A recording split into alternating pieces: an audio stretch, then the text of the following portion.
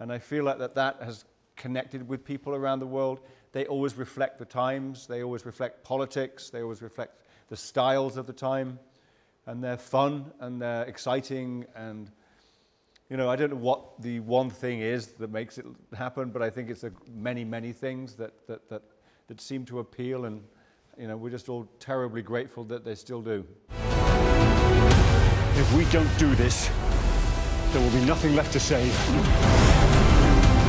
Daniel, uh, this is the first time in Bond history that a James Bond actor has the chance to properly say goodbye to the character in a movie. If you think previous Bond from Connery to Brosnan, they just stop playing the character. Uh, mm. how hard was to find the balance between disclosure and to tell a story that feels unique? Um, I suppose very difficult, but actually we had some good ideas. Um, and, and, once we started getting the writers involved and Cary involved, we, we, we brought, I think we brought the story. I think what's helped is that we started a story in Casino Royale that had, and, and each movie's had a connection to the last. So that helped us with the narrative and uh, we had somewhere to go to. She still loves you. Did you know that? What is it? You don't know what this is. Is she one of them? I don't know her at all. All these years, there were many discussions about what uh, a Bond girl is. Um, in this series, uh, has characters like Vesper Lynd, your Madeleine Swann, or Nomi, or the new Moneypenny. Uh, do you think this misconception about a Bond girl uh, has finished for good? Um, yeah, we have now, like, the, the, we, I mean, I've had the possibility to, to explore my character and uh, to make her more maybe consistent.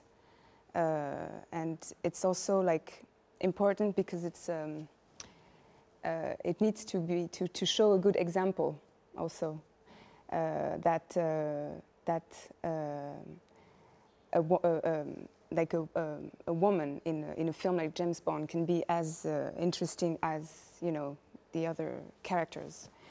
so so yes, it's uh, it's great, and I think it's also because of uh, Daniel, you know, because he he just um, he created this character with more complexity, and uh, and uh, and uh, he has um, he has made his James Bond uh, a feminist.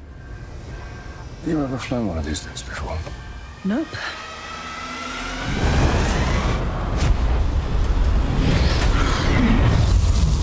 Daniel, uh, for the next month, uh, you still will be James Bond. You will be James Bond until Barbara and Michael announce another actor.